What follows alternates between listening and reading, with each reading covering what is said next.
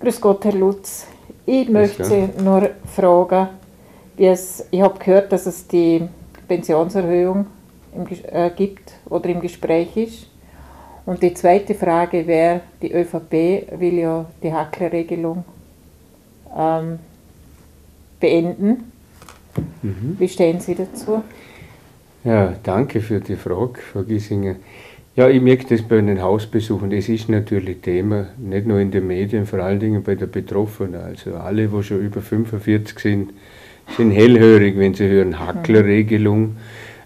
Hacklerregelung ist bis 2013, das heißt, Frauen, wenn sie 40 Versicherungsjahre haben, können abschlagsfrei mit 55 in Pension gehen.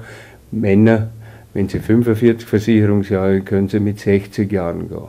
Die ÖVP will dass das nicht mehr verlängert wird. Wir als SPÖ möchten, würden uns so einsetzen, weil mhm. ich finde, es ist genug, wenn man 40 bzw. 45 Jahre geschafft hat. Mhm. Dann steht einem die Pension zu, weil man hat sie auch selber zahlt. Mhm.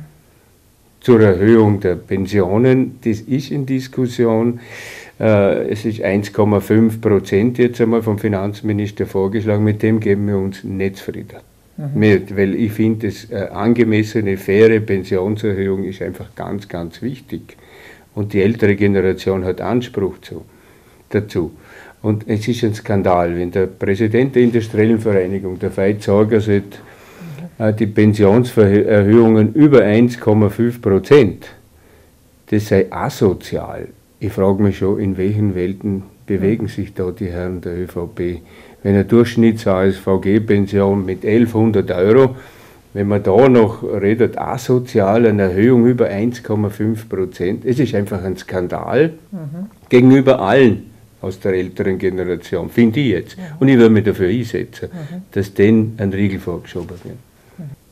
Ja, aber meine, meine Pensionserhöhung, ich, ich stehe darauf, dass ich eine Pensionserhöhung kriege, einfach, oder? Ich finde auch, Frau Giesinger, die steht Ihnen zu, in Ihrem Alter, in Ihrer Situation. Sie haben sich die Pension selber gezahlt. Ich habe so lang geschafft und so streng geschafft und deshalb möchte ich einfach die Erhöhung. Ja, die steht Ihnen zu, ja. das ist nichts Unmoralisches. Oder? Im Gegensatz, oder, wenn man der Präsident der Industriellen Vereinigung nennt, äh, alles, was über 1,5 Prozent ist, asozial. Es ist ja ein Skandal sondergleichen. So. Was denken Aha. Sie sich dabei, wenn ein Mann aus der ÖVP so eine Bemerkung macht, wenn man weiß, dass eine durchschnittliche ASVG-Pension 1100 Euro beträgt? Aha. Also wir setzen uns dafür ein. Nicht nur ich, mhm, auch mhm. Michael Ritschig und wenn es auch verschiedene Meinungen innerhalb der Bundespartei gibt. Mhm. Wir stehen zu unserer älteren Generation. Und darauf können Sie sich verlaufen, Frau Giesinger. Dankeschön.